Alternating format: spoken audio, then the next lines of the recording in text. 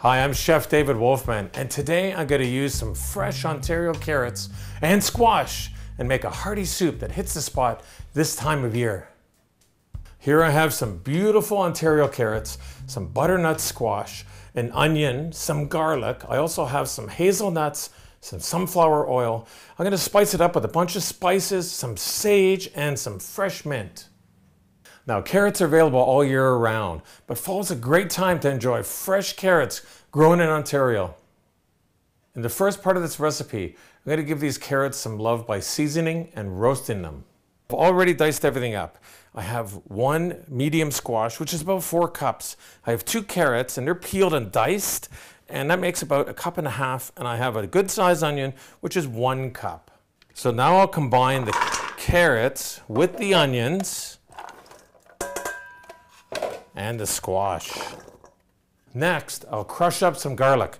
Three cloves should do.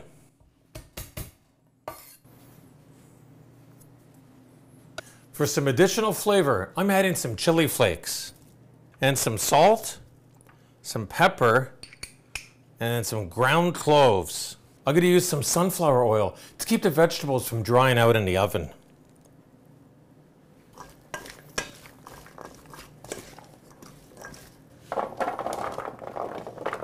I like to use parchment paper on my bacon sheet. It keeps the vegetables from sticking on the pan. My oven is already hot. I set it at 375 Fahrenheit. These will roast for about 30 minutes.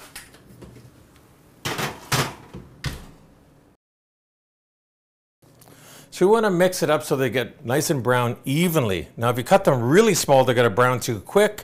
If you cut them too large, it might take an extra 15 or 20 minutes. So let's get them back in the oven, another five more minutes. Now this is a great time to toast the hazelnuts. I'm just gonna do them in a dry pan, keeping them moving.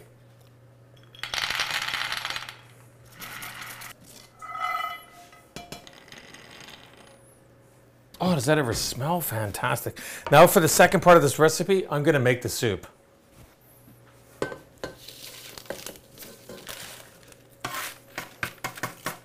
In goes the vegetable stock.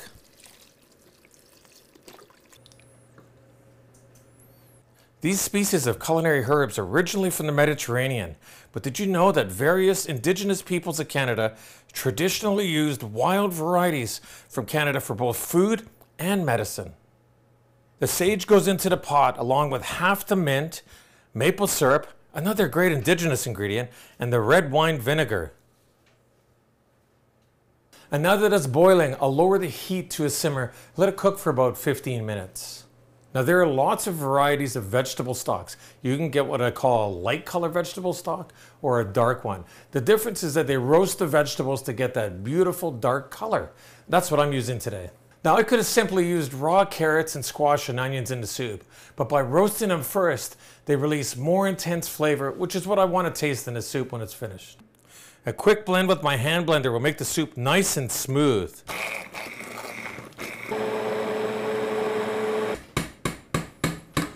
And a little taste. And now's the time to adjust with a little bit of salt and pepper if needed, but I don't think it needs it. It's just fine.